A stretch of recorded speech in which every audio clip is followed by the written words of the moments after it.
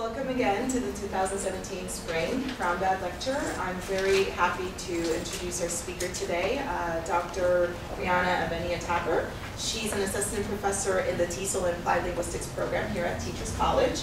Um, and today she'll be talking about her recent research using the program ALTSTEP. Can I say ALTSTEP or is it ALT-STEP? Um, and uh, just to give you a little bit of background on who Dr. Avenia Tapper is, um, she, her research mainly focuses on grammatical choices involved in academic achievement, and especially how the choices are related to power um, in and out of school. So she looks at student discourse, classroom discourse, and also parent and student discourse. Um, and specifically today's talk will be uh, about the ALTSTEP program and her research with that. So please join me in welcoming Dr. Brianna Avenia Tapper. Thank you so much. And thanks for coming. Um, so today I'm going to be talking about a quasi-experimental intervention study that I'm currently conducting, and my hope in presenting some ongoing research is that I can convince some of you that uh, this data is interesting and perhaps bring you on board um, as potential collaborators. Um, so the, um, the study is related to this program called ALTSTEP, um, that's based on a hypothesis about the relationship between expert positioning and academic language. Um, so I'm going to go into that um, and where that hypothesis comes from, but I want to start, again, because I'm hoping to sort of entice you to be interested in this data, I'm going to start with the data. So we're going to look at some things that we've already collected from the pre-assessments, student writing, and student talk. Um, and the first part is a little bit uh, interactive, um, so I'm going to ask you to complete the language task that the students completed so that we can get a sense of what you might expect students to produce in response to the same prompt. So uh, you need a computer or a paper and pencil. If you don't have paper and pencil, you can take from here, pass it around. Um, so what I'd like you to do first is write a dictionary definition for the word anger. Does anyone need paper and pencil?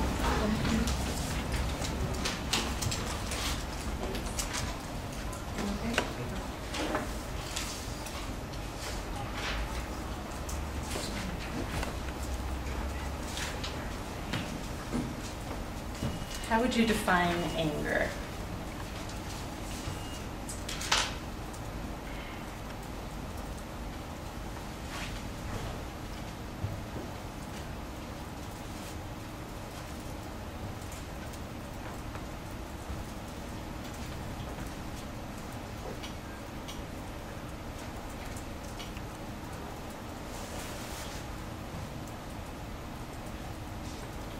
Okay, just take a couple seconds to finish your thoughts.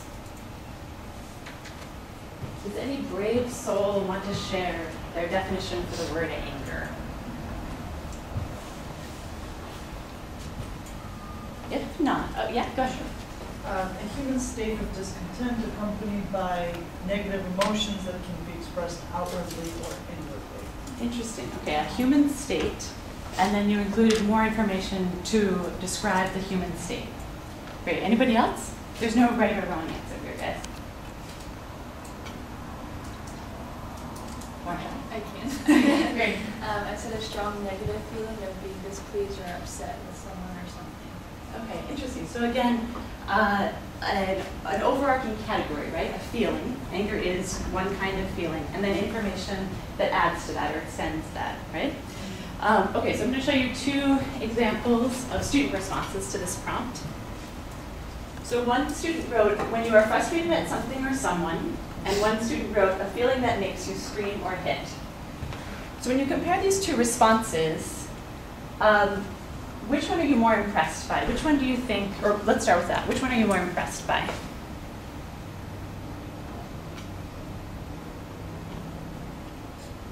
Yeah? Probably A, A, why? because it is, in- it describes um, uh, also a state of being, Mhm. where student B describes a reaction. Okay. Anybody agree or disagree? Is everybody impressed more with A than B? Becky? I'm impressed by B because I like how the student says it's a feeling and identifies what it is. Mhm. Right, there's that, there's a taxonomic relationship, right? They reference a taxonomic relationship. So they're defining anger and they refer to the category in which anger fits, right? Um, so uh, I, these are great comments because it really illustrates how when we make judgments about the impressiveness of a student's response, right, we can draw on a lot of different sort of um, value systems to make that judgment. However, um, previous research that's looked at definitions that are most aligned with expectations in school, um, they call them like the most formal definitions, uh, typically um, sort of argue that um, the more formal definitions fit this structure, right? They, they reference a hierarchical relationship and then they add more information, often using a relative clause. Um, and then previous research, um, Catherine Snow has done a lot of work on this, shows that student production of definitions that fit this form is actually associated with academic achievement. So we're gonna, we're gonna repeat this sequence. Um, take a few minutes, it doesn't have to be perfect, you don't have to read it out loud. Quickly write a short paragraph explaining all about New York City. Maybe three to four sentences. What would you say about New York City? Yes. What is the background of the students? Are they So they are, um, they're linguistically diverse. So they come from a high, low income, a high, um, free reduced lunch school. And most of them are emergent bilinguals, although not all. Um, and the L1 is Spanish.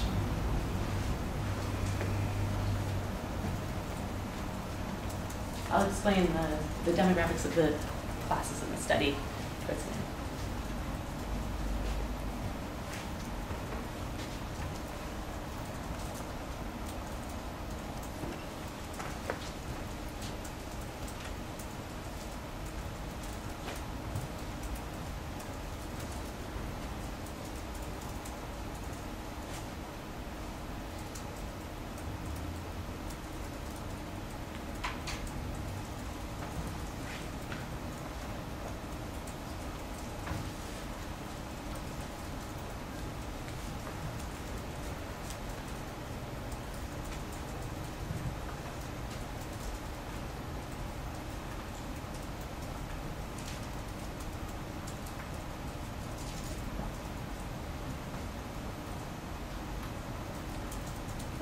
take a couple seconds to wrap up.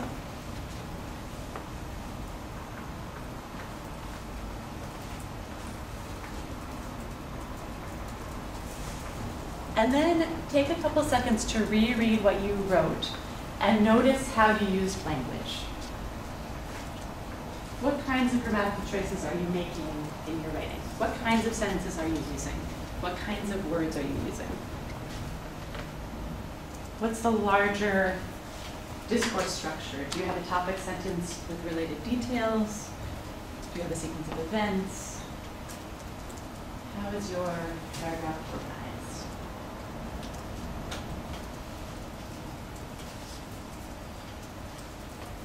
Okay. Now we're going to look at two responses from students in the program. And again, these are all pre-assessment results, right? So it's not, I'm showing you um, responses that are different, but uh, they're not different because of any kind of treatment. This is all from the beginning of the study. Um, so one student wrote, New York City is a big city. It has tall buildings. New York City has stores. It has supermarkets. It has places where kids can play. In New York City, a lot of things happen. There are a lot of bridges there. And the second student wrote, New York City is one of the most popular cities. It has one of the tallest buildings in the world, the Empire State Building. A lot of people visit the Empire State to see the whole city with its lights. That is why it is called the city that never sleeps. Okay? So, which are you more impressed by and why?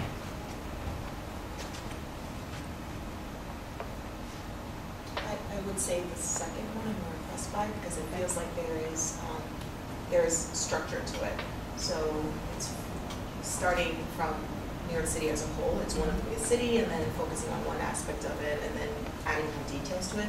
Whereas student three's paragraph looks more like a list, Okay, a list of sentences. That's not necessarily coherent. great. Okay, so there's two different organizing structures, and this is more what we expect from this kind of writing, right? Topic and then supporting details. Um, anything else that you notice that's different that you're impressed by in either one? Yeah. Um, student four uses more variety of sentences. Mm, yeah, yep, different kinds. The student three has a lot of blank does blank, right? Uh, simple sentences. Anything else? You? So some ways that we can compare these two responses um, are in terms of deictic terms, um, which broadly are words that are used to refer to other words, right? Things like it, he, she, they, there, now. Words where you uh, need to draw information from the, from the physical and temporal context of the utterance to understand to what it refers, um, which is this is a longer conversation, but that's true for all words to some degree, but for terms like it, now, here, right, that's particularly true. Um, so we can look at the ratio of deictic terms to total words in the two responses. We can look at tier two words. Tier two word, words um, in the program that I'm using for analysis are words that um, are not in the 2,000 most common words used in the English language, right? Um, so they're less common words. Um, we can look at the uh, density of longer noun phrases. Um, we can look at relative clauses, and we can look at complex uh, sentence complexity on a sentence variety. So these are some ways that we can compare the two pieces of writing to try to get at which one is perhaps more academic, right? Because academic language is an abstract concept. Um, so we need to think about what can we use as a proxy to measure the academicness of language, right? Um, so you can see these two responses. Um, we, there was sort of, I think, general consensus that this, the second response was more academic, right? Or more aligned with what we expect in school, um, or from some value systems, more impressive, right? Um, and so we can see that they, that uh, response relies less heavily on deictic terms, um, and it has more complex sentences. So those are two ways to kind of measure the difference that we saw in those two pieces of writing. Okay. So we're going to move on to some results um, from the oral language assessment. Uh, students were asked a number of questions and their responses were recorded. Uh, so one question that they answered was, tell me about the life cycle of a caterpillar. So just take a minute and imagine what you would say in response to that question.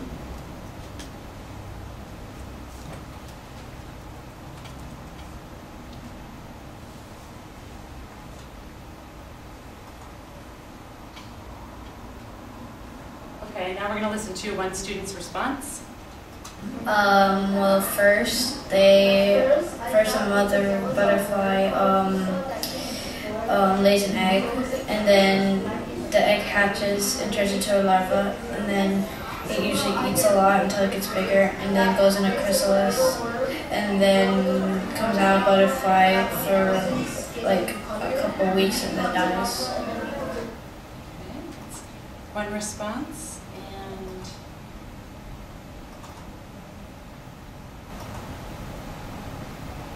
play the other response. Zoe?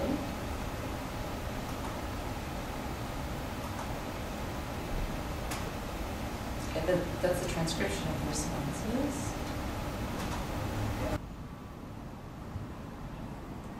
Class C student Sometimes it eats um, things that it fall. of a caterpillar.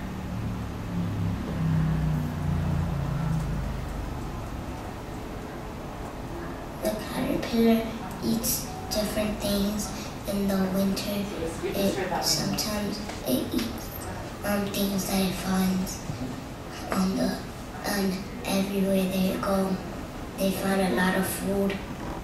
Okay. And what can you tell me about the stages of its life? The stages of the life of a caterpillar. The caterpillar is small, and then when a caterpillar grows up, it turns into a butterfly. Very good.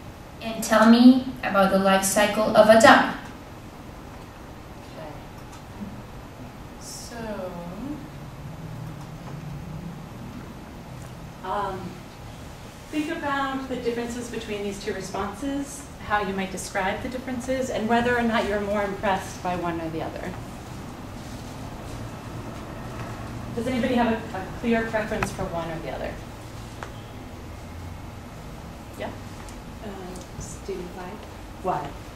Um, I think it answered the question better, uh, and was more specific in the, using the terminology like larva and chrysalis and all of that. Okay, so we have some like content-specific vocabulary. Yeah. Anything else that you notice is different?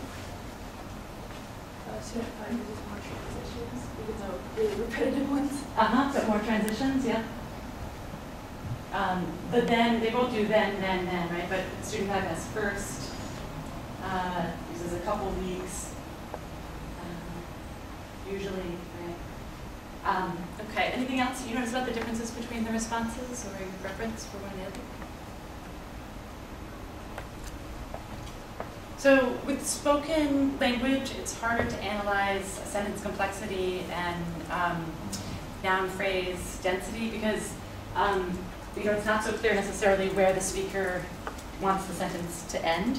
Um, so uh, we're using a little bit of a different lens to analyze the academicness of the spoken language.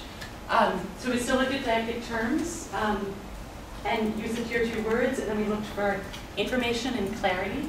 Um, information and clarity ratings using this rubric here. So little information is communicated, some information, a substantial amount of information is communicated in clarity, difficult to understand, several clear points but disorganized or not signposted by discourse markers, and then a three would be um, clear, organized, signposted by discourse markers, right?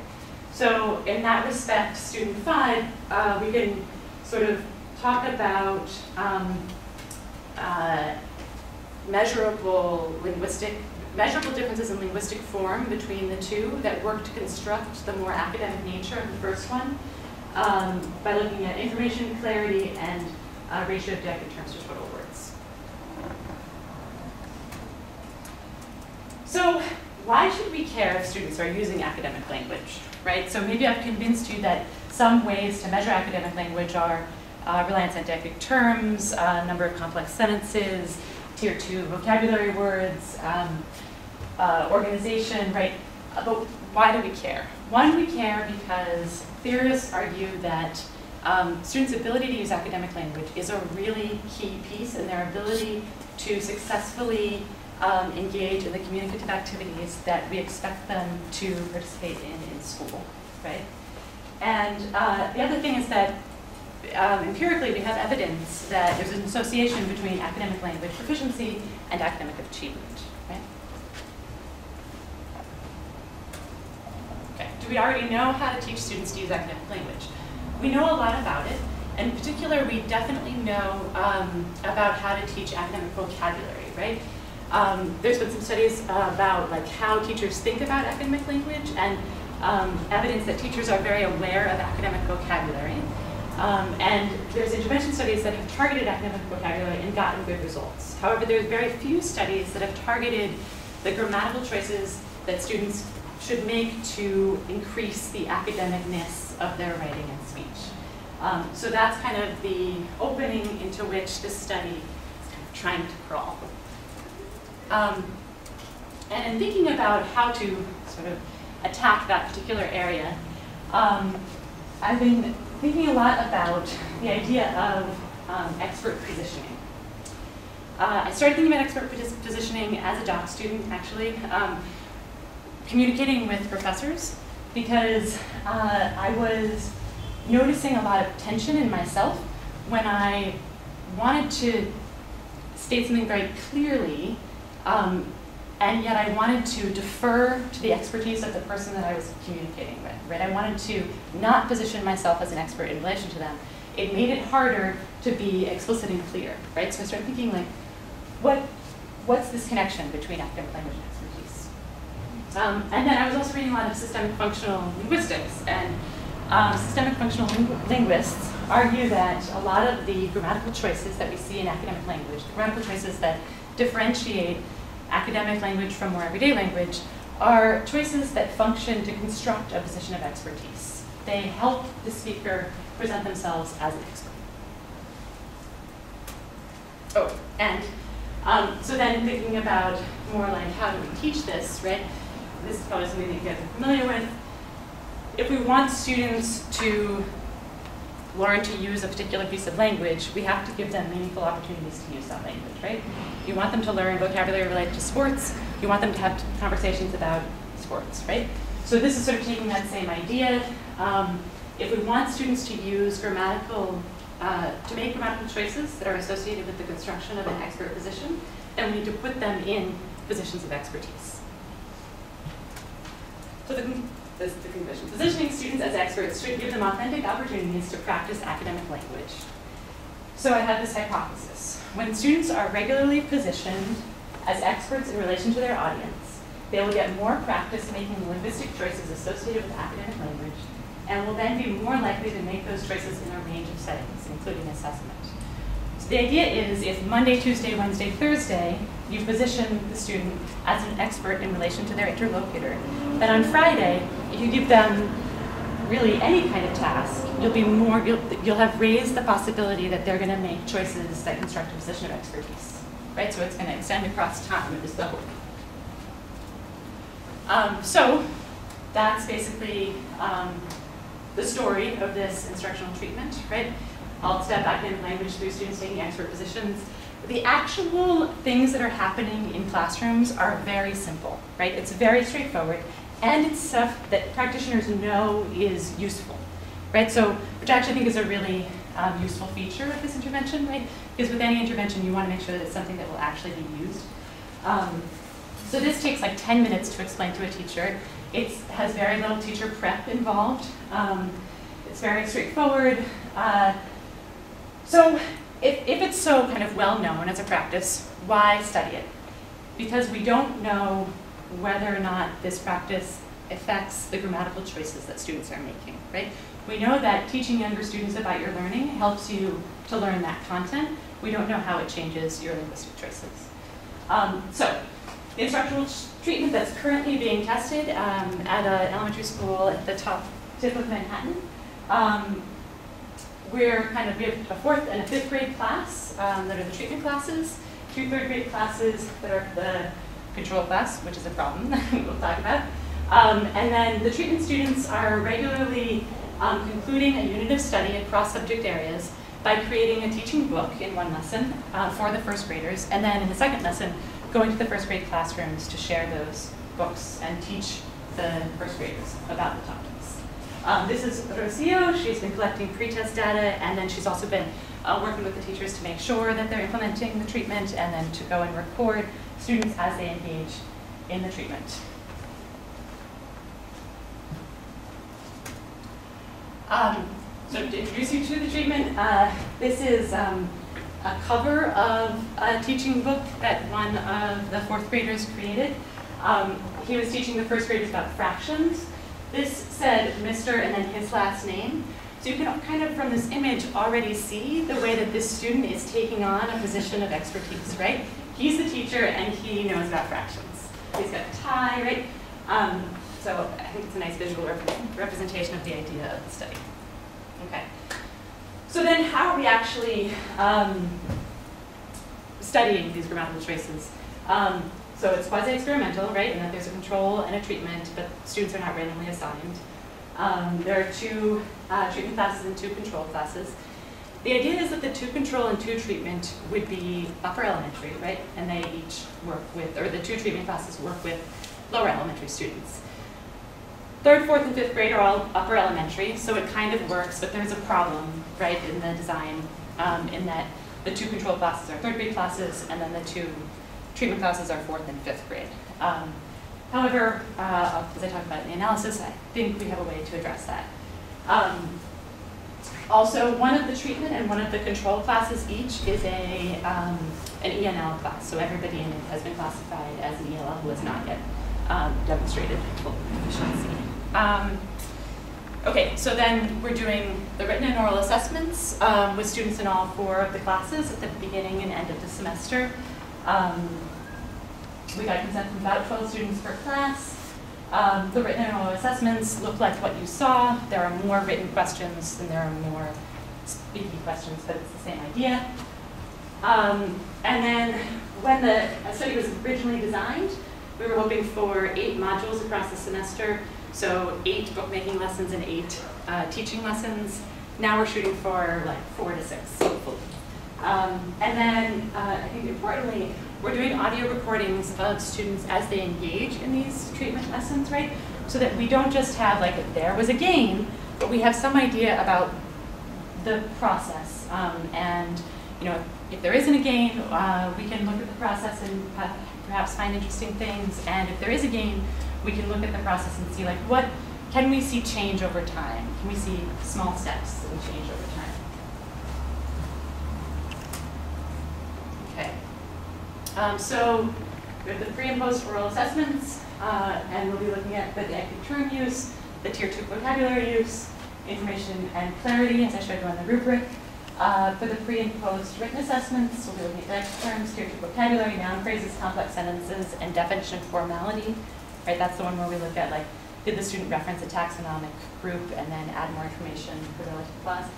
Um, and then we'll be using the ANCOVA to determine significance of differences in the post-test means of the treatment and control group, um, taking into account their pre-test um, scores, right? So hopefully, I mean, right, every study is an argument. I'm not sure to what extent the third grade, fourth grade, fifth grade difference is going to affect the strength of the argument. I, I think the ANCOVA will um, account for it to some degree, but then one could also make the argument that there's different learning trajectories for third graders versus fourth and fifth graders. So there's some some sticky stuff to be worked out there. Um, and then audio recordings of the recordings of the treatment in progress, um, probably doing some kind of recursive discourse analysis um, to look for themes and patterns in students' progress through the program. Um, so one, if you know, if any of this sounds interesting to you, uh, I might not, unfortunately, be able to continue um, working on it past the end of this semester. So if you're interested in, in this data, please let me know. And if you have any questions, I'm happy to answer them. That's it.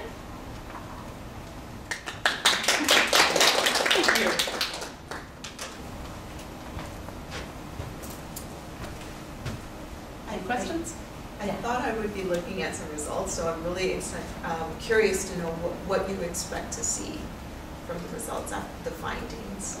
I mean, the hope, right, is that if, um, you know, if the hypothesis holds, then that there will be a higher, like, um, there'll be less deictic term use in the treatment group, right, or uh, less reliance on deictic terms, that there'll be more tier two vocabulary use, that there'll be uh, more complex sentences, that there'll be greater clarity, greater amount of right?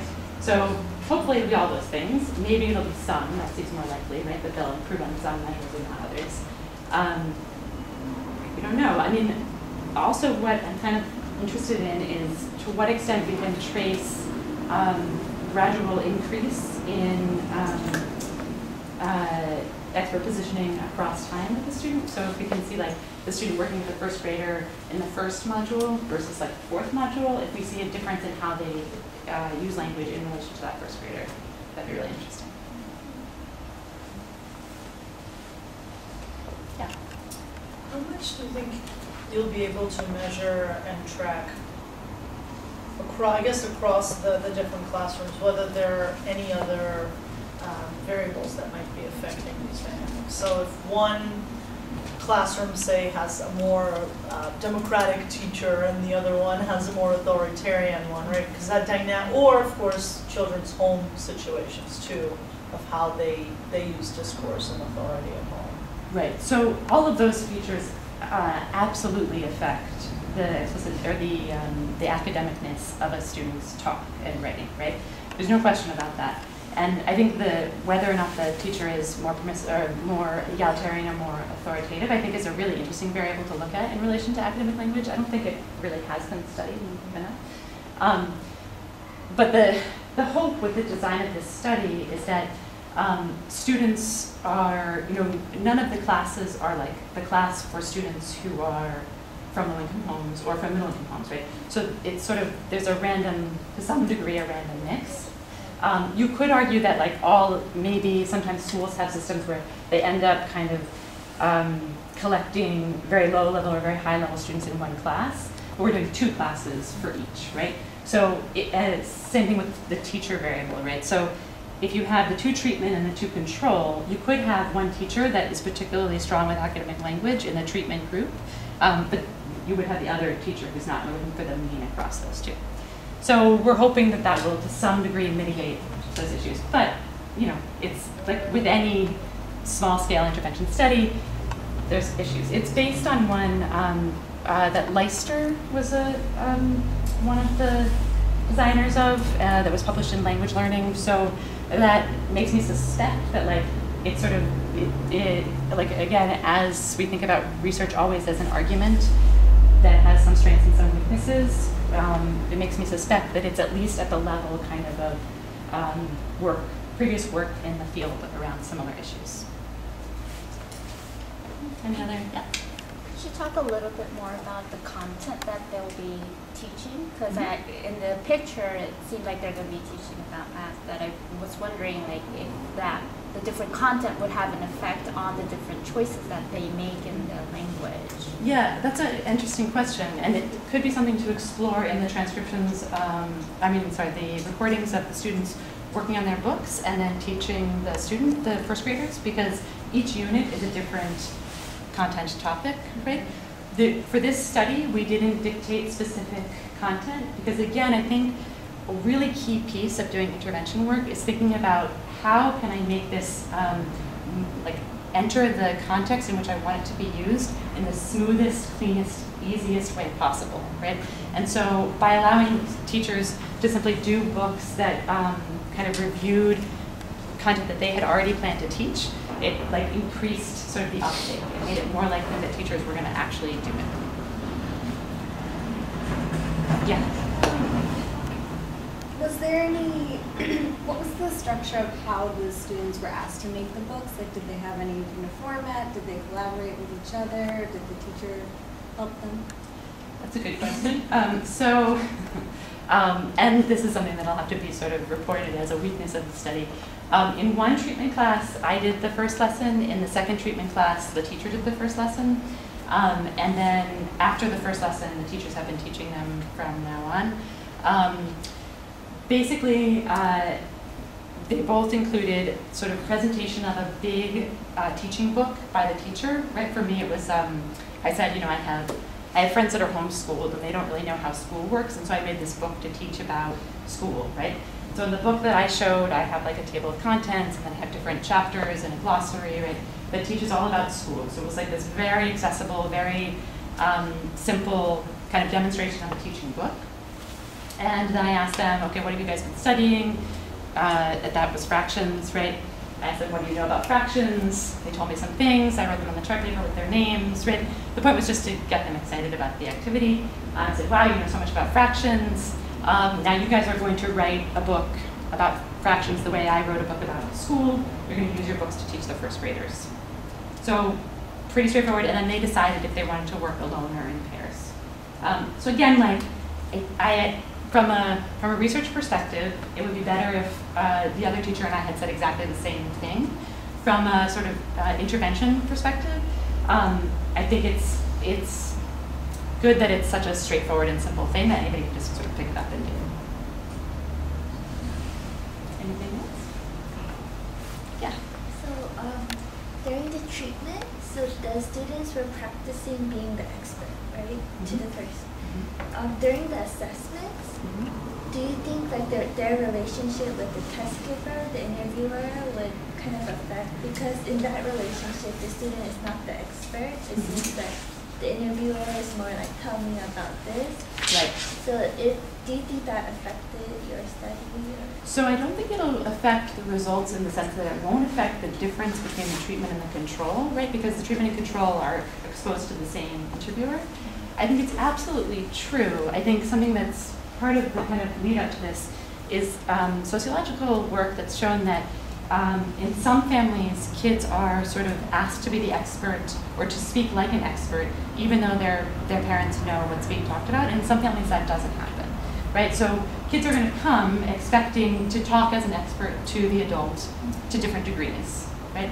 So that's that is some that's an influence on the interaction, but I don't think it will be different for the treatment control. And the hope is that right through the treatment, they come to this new adult being more likely to present themselves as a. Yeah. Uh, I'm just wondering about how you measure academic language and your categories of uh, deictic terms and tier two words, and where do those categories come from? Are those like established measures of academic language? So they are drawn from previous studies of academic language where people have kind of like looked at talking classrooms or looked at academic text, right?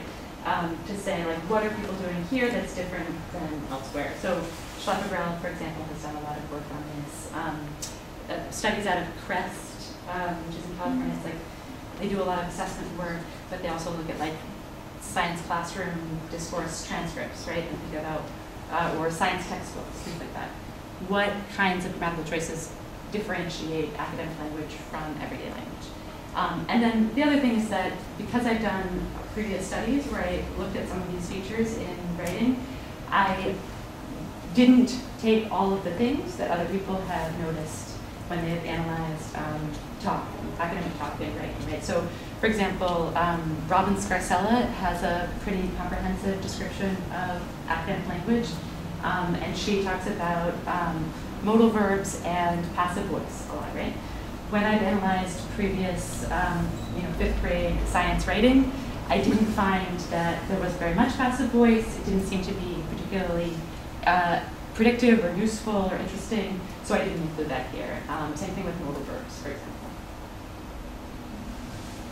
Um, but I'm very interested in the possibility of other sort of measurable like evidence of the academicness of text and talk.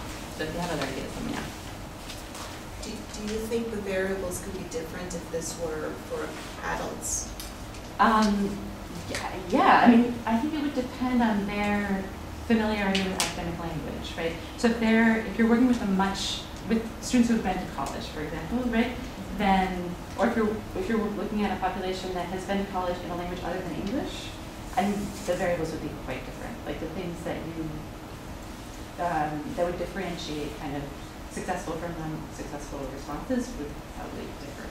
Um, but we have to look at the literature on that. Yeah. Just to piggyback off of Yuna's comment, yeah, I, I tend to think that maybe um, like with higher level, like grade level learners and adults, maybe passives and modals would be more significant. I think so. I, again, I think it depends on like if you were working, for example, with um, like a GED population. Um, I think you might find. I mean, we have to we have to do it, but I think that sort of familiarity with academic context is so critical Mhm. that that piece might be even bigger than the adult child piece. Hmm. But it's an empirical question. Anything else? Okay. Thank you so much, guys. Thank you.